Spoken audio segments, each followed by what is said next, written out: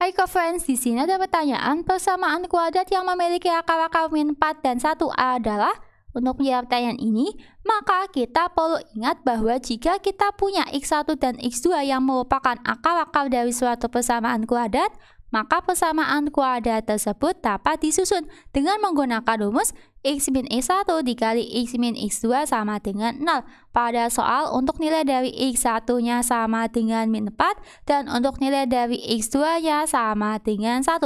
Selanjutnya kita masukkan ke dalam rumus x min x1 dikalikan dengan x min x2 kita sama dengan kan 0. Kita ganti x1-nya menjadi min 4 diperoleh X min min 4 lalu dikalikan dengan X min X2 dengan X2 nya 1 maka menjadi X min 1 kita sama dengan kan 0 karena min bertemu min hasilnya plus maka dapat kita tuliskan kembali dalam bentuk X plus 4 dikalikan dengan X min 1 kita sama dengan kan 0 selanjutnya kita lakukan perkalian satu per satu X kali X hasilnya adalah X kuadrat, lalu X kali min 1 hasilnya adalah min X, lalu 4 dikali X hasilnya adalah plus 4X, dan 4 kita kalikan min 1 hasilnya adalah min 4, kita sama dengan kan 0. Selanjutnya untuk x kuadrat kita tuliskan kembali. Untuk min x dengan plus 4x dapat disederhanakan.